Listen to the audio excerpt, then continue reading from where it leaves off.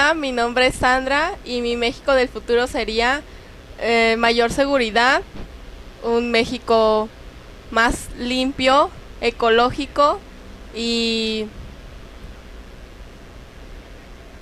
nada más.